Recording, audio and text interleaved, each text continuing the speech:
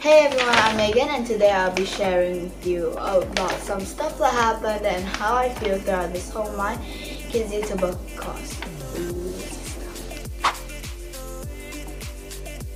Okay, so first off, why do I want to become a YouTuber? Um, so, um, one of the main reasons why I want to become a YouTuber is because I want to earn some money so I can like travel around the world and stuff like that and I also like to share some stuff that happened in my life and obviously this is also for fun.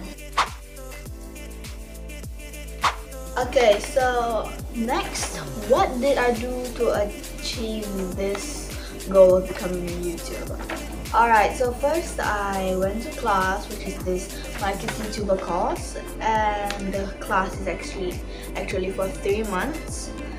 And basically in this whole thing we learn about how to become a YouTuber and some stuff that we have to know.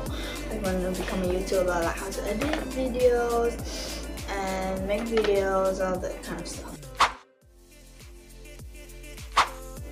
Okay, so on the first day of the class, I didn't really feel anything as I treated it as it was like any other classes that I actually went to and yeah, there are also a couple other students in this class, I guess around four. Yeah, so the teacher said not to treat her like she's a teacher but to like see her as a friend that's sharing stuff with us. So So basically what they we learn in here is like oh we study how other YouTubers um, make their videos like the preview, intro and outro, all of that. And we also learn how to make thumbnails, edit videos and create a channel banner and all that kind of stuff. And also how to earn money, etc. Of course, we also learn how to set the camera so that it doesn't look too bright or too dark uh, or at some crazy weird angle and other essentials that we will need. Okay, so throughout so throughout this whole thing, obviously we'll face, have to face some problems. Like, well, like sometimes editing is a problem because I edit videos and I just stay in the same position and I don't move. I just keep looking at the screen and I keep editing. Then sometimes my neck just gets painful because it's like staying in the same position for too long and when I start to move it, it hurts. And another problem is um, editing also takes a lot of time sometimes. So and another problem is the internet. So sometimes the internet won't work, it won't load and that's actually a, a big pro problem as I need the audios, I need to download the audios. So if there's no internet, I can't download the audios and there will be no audios for the video, no background music, no nothing.